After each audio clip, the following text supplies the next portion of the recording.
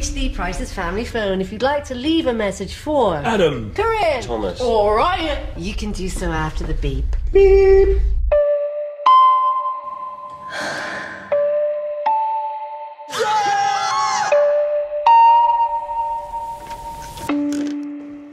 You didn't have to stay with her, you know.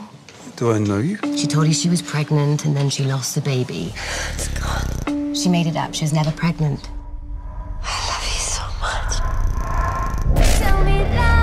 Did you fake your pregnancy? I need you to tell me the truth. Corinne. Adam, this isn't what you think. There's more to this.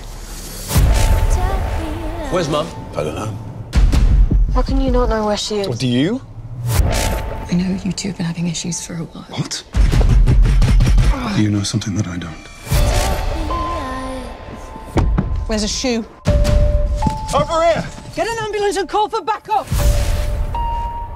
We've reason to believe that your wife was at the scene of a murder. This doesn't make any sense. This stranger turns up all mysterious and drops bombs on people and then just gone. Is this some kind of joke? Please don't tell Dad. This stops now. What is it with you and your mother sticking your noses into our business? Now you know she's a liar. Nobody wants this to be happening. How's that lovely wife of yours? I think we're done here. She had to be stopped. Oh my god. I'm sorry, I'm sorry. Is this some kind of a trick? Just want to find her. We all have our secrets.